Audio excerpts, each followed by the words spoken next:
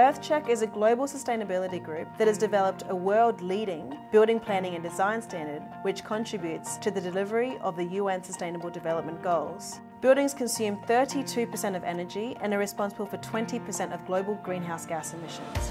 The EarthCheck Building Planning and Design Standard plays a key role in meeting the Paris climate change targets. EarthCheck's innovative, performance-driven standard supports smart, efficient and responsible tourism development projects. The design standard helps protect destination values, drive responsible economic development and enhance quality of life and well-being in local communities.